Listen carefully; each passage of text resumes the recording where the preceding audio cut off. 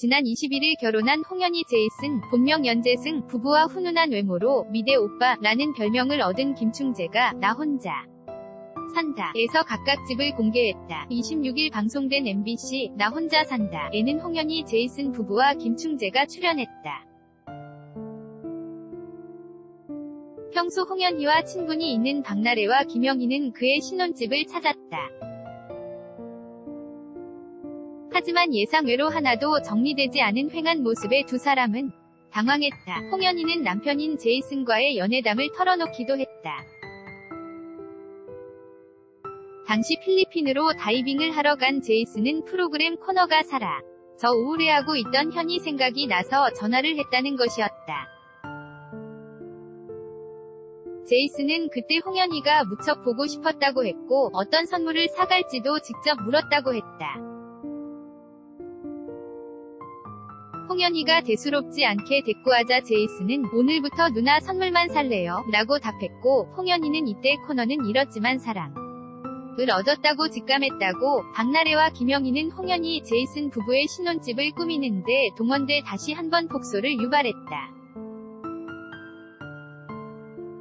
벽에 페인트 칠하는 것부터 각종 가구를 설치했다. 하지만 박나래는 홍현희를 위해 미니 건조기와 깜짝 케이크를 선물하는 등 감동을 줬다. 박나래 기한 84와 삼각관계를 이뤄 주목받았던 김충재는 다른 사람들의 에피소드에 초대된 손님이 아니라 자신이 주인공이 되어 시청자들의 게 일상을 공개했다. 김충재는 일어나자마자 쌀부터 안 치고 토마토를 갈아 주스를 마시며 3D 프린터를 활용해 작업하는 모습을 보여줬다. 나 혼자 산다. 위 마스코트인 흰곰 인형 윌슨과 함께 사진. 을 찍는가 하면 집 근처 낙산공원으로 산책하러 나갔다. 이어 직접 장을 보고 자신의 집에 방문한 동생에게 저녁 밥상을 대접해 눈길을 끌었다.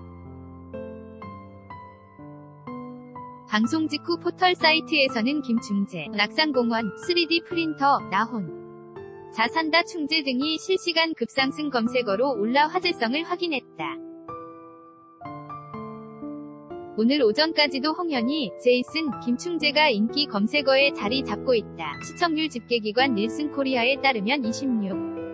일 방송된 나 혼자 산다 265회 1부는 12.1%, 2부 13.1% 모두 수도권 가구 기준을 기록했다. 나 혼자 산다 는 매주 금요일 밤 11시 10분에 방송된다.